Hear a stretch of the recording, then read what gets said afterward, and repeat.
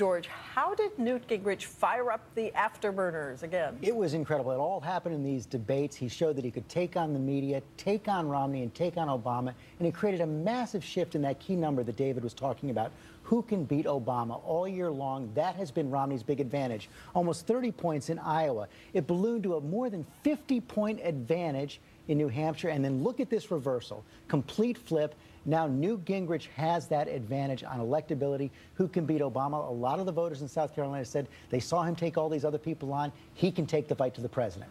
So the president, the debates, one two punch, one two three punch? One two three in the media. He got the media as well. And, I, you know, I spoke to several top Republican strategists today, and most of these people do not want Newt Gingrich to be the nominee, but for the first time, they are starting to believe it actually can happen. It begins for Newt if he gets a win in Florida in just over a week.